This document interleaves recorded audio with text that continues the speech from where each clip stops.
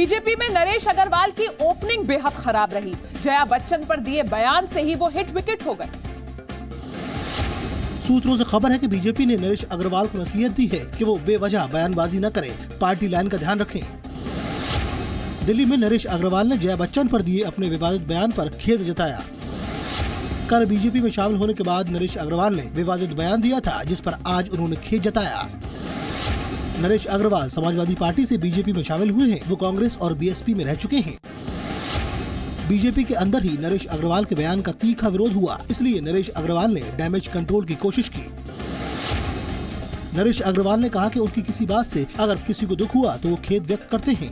एक फ़िल्मों में डांस कर दें, अपना रोल कर दें, वो लोग उनके नाम पर हमारा टिकट काटा गया। मैंने इसको भी बहुत उचित नहीं समझा।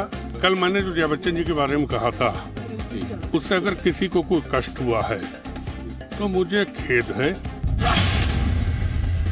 कहीं पे भी जो भी महिलाएँ काम करती है इस देश में है सबकी इज़्ज़त समान तरीके से अच्छे तरीके से होनी चाहिए। जया जी की जगह कोई अभिनेता होता?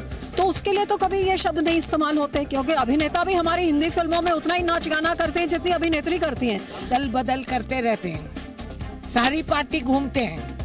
अपना फ़ायदा नहीं है तो पार्टी छोड़ के दूसरे पार्टी में कूद पड़ते हैं। ये भारत का पहचान है।